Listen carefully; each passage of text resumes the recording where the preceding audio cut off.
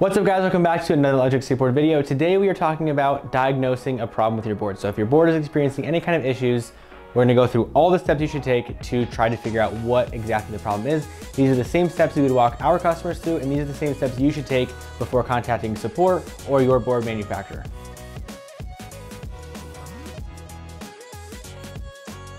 So nine times out of 10, if someone messages me on Instagram or sends our support team a message, their board turns on but it doesn't actually run. So the main problem over half the time, it's just because the remote isn't paired. So this might sound obvious too, but a lot of people assume that the remote will pair automatically. And in some cases it does, but most of the time you'll need to pair it yourself. So in this case, it turns on and as you can see, the, the battery level indicator isn't doing anything. So what we need to do is actually pair the remote and this should solve our problems. In this case, so depending on what remote you're using, you may have different steps. So definitely check the product description of whatever remote you have and the instructions should be there. If not, you will have to reach out uh, to whoever your vendor is to get those.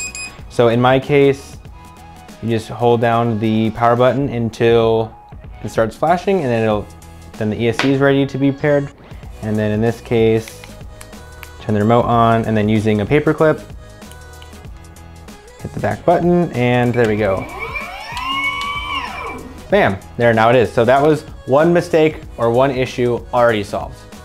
One thing to consider is that if you have a problem that has nothing to do with your remote, even if your remote is paired, it, your motor still might not spin. So to test, make sure that your remote is actually paired. In this case, this is the basic ESC remote. Um, if it is paired, you will see that there is a battery level indicator. So it actually shows that my battery needs to be charged a little bit. Um, another way to test is if you hold the brakes down, feel the resistance be added to the, the motor. So if you re release the brakes, the motor spins pretty freely. If you hold the brakes down, it obviously doesn't spin as well. So that's one other way to test if your remote is paired. So if you're 100% sure that your remote is not the problem, your remote's paired, you know for sure that's not the issue, then most likely it's now a voltage problem. So what I mean by that is, here, I'll actually show you. So here I have a 10S battery, a 10S ESC, and a 6255 motor. Now the good news is both of these things are 10S, so turn the power button on, turn on the remote, and since I've already paired it, there we go, it spins. But what happens if you were to plug in a 6S battery to a 10S ESC? This is actually a pretty common problem. This particular ESC comes in a 6S, 7S, and 10S version. So uh, in this case, again, I have a 10S battery, 10S ESC. The 10S ESC is expecting a 10S battery, so it works great. But what happens if you actually plug in a 6S battery? So here I have a 6S battery, um, a little bit smaller than the 10S version. But nothing's gonna blow up if you do it wrong. It's just, it might confuse you while you're trying to set your board up. So here I have a 6S battery plugged into a 10S ESC. So the 10S ESC has no way of knowing what actual battery you've plugged into it. All it knows is it's expecting a 10S battery. So when it's met with a 6S battery, it reads the voltage and goes, that's not right. So I'll show you what I mean. Plug that in. And what you hear is a three beep warning, meaning that your, that your voltage is too low and it's gonna cut it off. So why it cuts it off, all it knows is that it's expecting a 10S battery, it's reading this voltage and goes, that's way too low. We're gonna damage your battery if we continue to draw from it. So we're gonna cut your battery off to save you from damaging your hardware. So that's what that's doing right now. Obviously it doesn't work, but if we use our trick and hold the brakes, it is actually working. So we know for sure our remote is paired but it's not actually spinning. So now again, if we were to unplug this and plug in our 10S again and turn it all back on, there we go. So what happens though if you have a 10S battery and a 10S ESC and you're still experiencing these problems? Well, we'll get to that next. So before we dive into our batteries and figure out how to test those, I do wanna mention our VESC user. So anyone who's using a VESC, Obviously there's not a 6S, 10S version of this thing, but it is all software related. So if you're still getting these types of errors, you need to dive into the VESC tool and make sure that your battery cutoff is set to the proper voltage for your type of battery. Once you verify that your VESC settings are correct or that your ESC and your battery do match, we'll move on to testing your battery's health. Uh, to start though, we wanna make sure we fully charge our battery.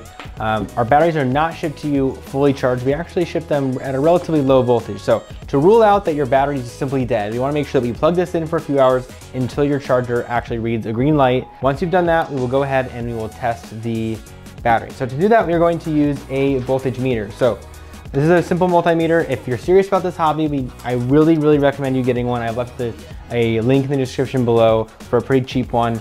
Um, you need to make sure that you're able to test the voltage of all your different components. So in this case, I did not charge my battery, but um, we're gonna read the voltage anyway. So I'm going to insert the probes into each end of the XT60 to get a voltage. It doesn't matter which way you do it. Uh, worst case scenario, you'll get a negative reading. So in this case, my battery is reading at 34 volts. So that's a healthy number, but it's not fully charged. So for a 10S battery, you wanna make sure that your battery is, once it's fully charged, it reads 42 volts. Doesn't matter what battery you use. Once it's fully charged, it should read the same voltage that's listed right here on the back of your charger. So in this case, mine says 42. So after a couple hours of charging, this should also read 42, give or take a, a volt or so. But in this case, let's pretend that I did charge my battery and it was at 34 volts and that's just what it was at the end of charging. So now I need to make sure that my charger isn't a problem. So most of the time, if there's any kind of battery issues or battery voltage issues, it's actually just a bad charger. So to test the charger, we'll do a similar method here. We will turn on our voltmeter to DC reading, plug one of our probes into the center of the charger, the other on the side, and we are getting 42.1, so our charger is good. So that rules out our charger. Now, most of the time though, that's where your flaw is gonna be if you have a problem with your battery. So we just wanna make sure that that voltage is very close to that 42 volts in the back, or if you're using like a 6S charger, it would be 25.2 volts. It'll list it on the back though if you're ever confused. Um, so there we go. So our charger's fine, our battery, I know for a fact it is fine, so that one's fine. So if, you're, if all your voltages check out, then it's most likely an ESC issue. So if you have determined that the voltage coming out of your battery is not as expected, we usually have one of two issues. One is a bad charger, which I just explained to you how to test your charger and make sure that's not a problem. Most of the time, that's the issue, but if it's not, then the other issue that's likely is that your battery is no longer balanced.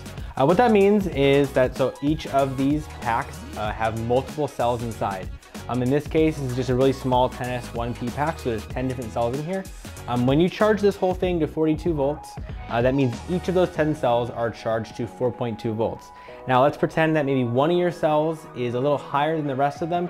As soon as one cell hits 4.2 volts, if the other nine aren't quite there yet, the BMS will stop charging to prevent that one cell from being overcharged, which can obviously uh, pose a potential fire issue. So that's the beauty of a BMS, is it cuts it off prior to any kind of issue like that. But what that means is that you may not be able to charge your battery fully.